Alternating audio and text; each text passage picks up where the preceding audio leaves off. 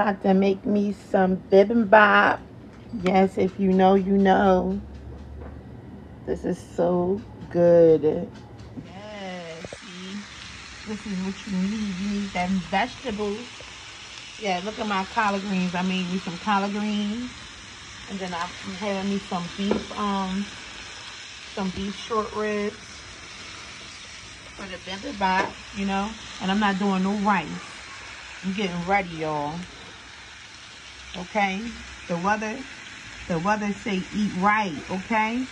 Put that cheese steak down, baby. Put them fries down, baby. Yeah, you need you need some breast some vegetables. You need some vegetables, baby. Get into it. Okay? And um, oh yeah, at home, save some money. This is my bibimbap sauce. This is nice. Oh my god, this sauce is the stuff. It's nice and spicy and sweet. Yes, baby. Get into it. Yeah. You can't have bibimbap without an egg, okay? You gotta throw that egg in there, okay? Gotta throw one egg in that bibimbap. And there you have it, you guys. You got your own little homemade bibimbap.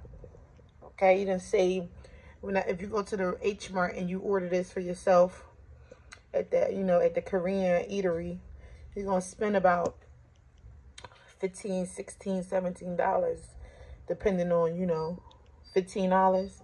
You just made this at home. You know that little container i bought is probably like five dollars worth of vegetables. Got my own meat you know and i know what i put in it. I cooked it myself. You know I love this. This is so good.